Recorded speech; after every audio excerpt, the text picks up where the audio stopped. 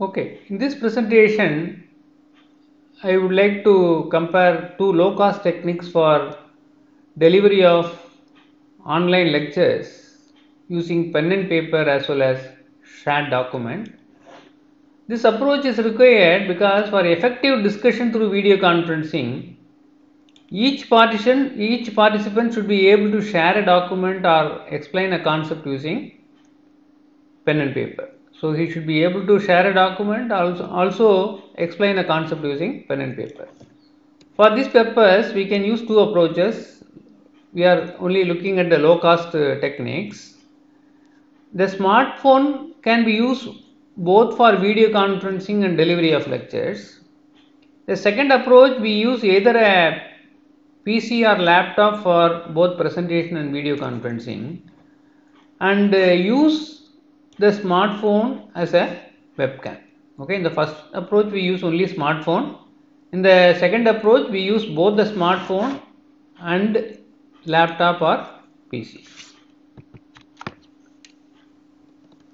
So for the delivery of online lecture using smartphone, you can load, uh, install the video conferencing software such as WebEx, Microsoft Meeting and all on the smartphone and you can invoke the software so that you can uh, join the video conferencing.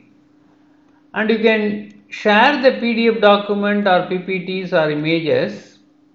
And uh, using them you can give presentation. And you can also deliver a lecture using pen and paper. By fixing the smartphone vertically above the writing pad using some suitable stand. The advantage is the presentation can be given from anywhere. And there is no need to buy a high resolution camera. And there is no need to buy any software for converting the smartphone as a webcam. For the second approach you need to buy a software to convert the phone smartphone as a webcam. Okay? So it's a really cost effective solution.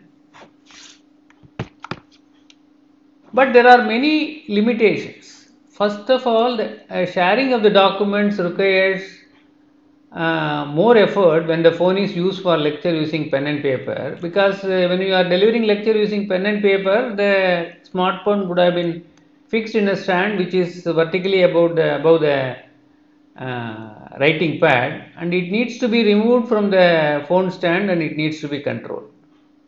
Second problem is this document to be shared should be opened using apps such as uh, mail or uh, drive.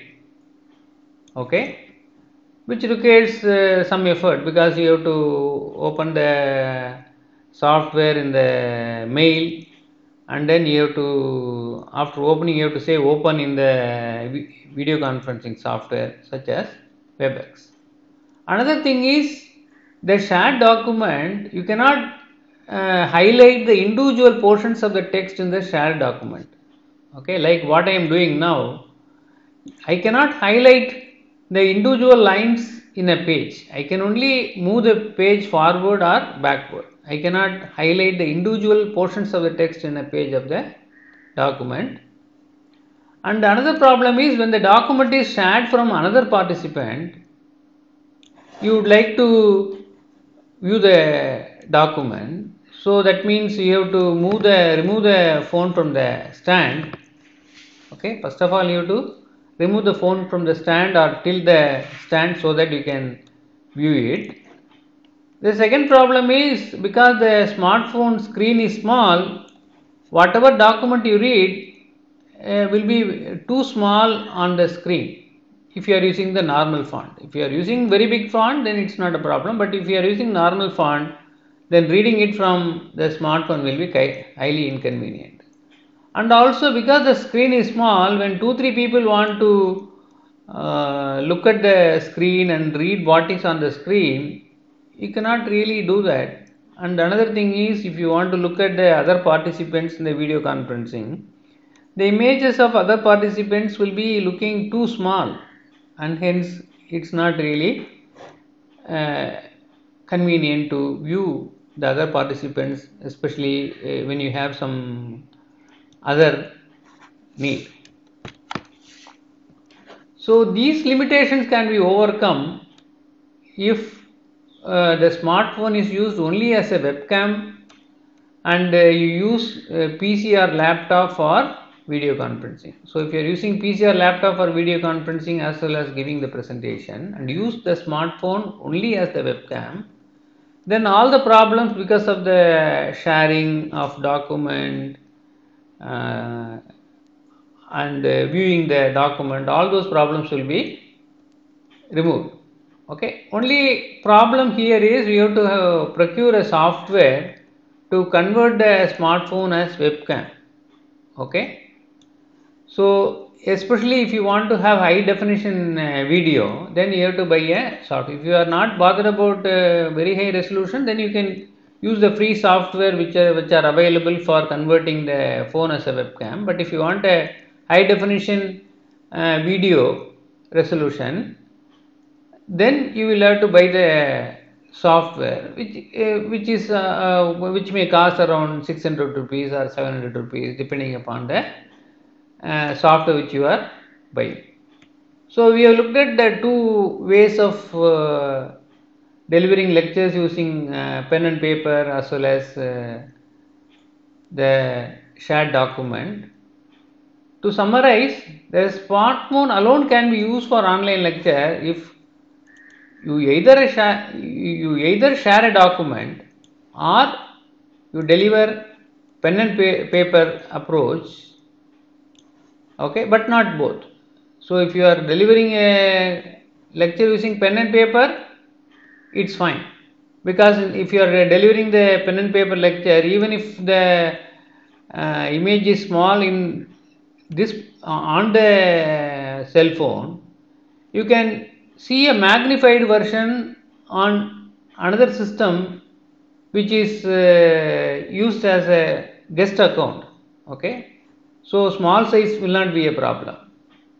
And if you are delivering lecture only using uh, a shared document then also it's not a problem. But if you want to do both then it becomes a challenge. Okay? Another thing is you don't want to share any document.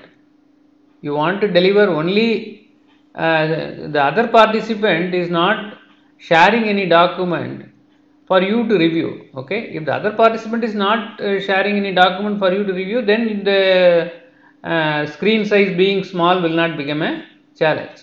Especially when the faculty is delivering a lecture in that case he will only be delivering the lecture. In that case uh, we don't have to really look at uh, the screens of the students but if you are uh, if you are having a project discussion with your uh, scholar or other groups then it will not be one way traffic. I mean you may want to share a document you may want to explain some concept using the uh, pen and paper. Similarly you would like the other student also to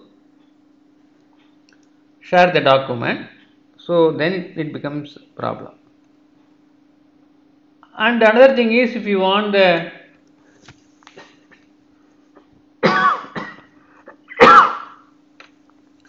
you don't want the text in the document uh, to be highlighted. If you don't want the text in the document to be highlighted then it's not a problem.